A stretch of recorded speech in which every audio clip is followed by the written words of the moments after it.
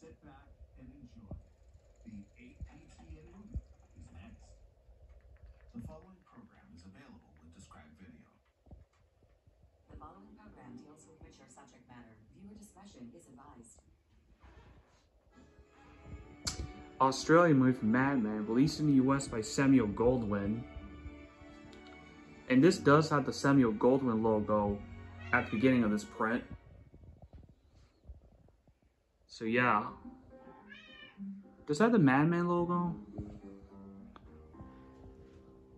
I don't think it did have the Madman logo.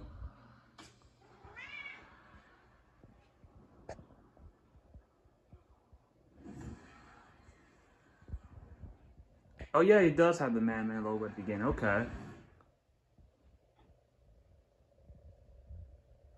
Spoke too soon.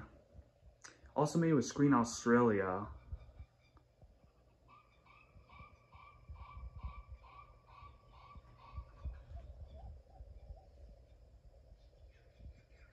And, and Film Victoria as well.